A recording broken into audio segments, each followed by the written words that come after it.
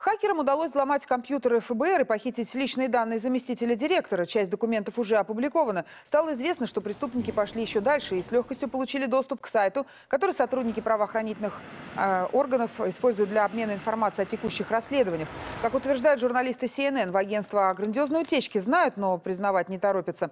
Также известно, что именно эти хакеры ранее похитили личные данные министра национальной безопасности и директора ЦРУ.